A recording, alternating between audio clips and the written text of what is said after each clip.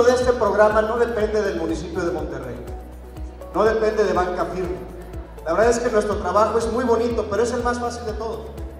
El trabajo duro lo hacen ustedes todos los días, en sus casas, en su proyecto, en su lugar de trabajo, con su gente, con su familia.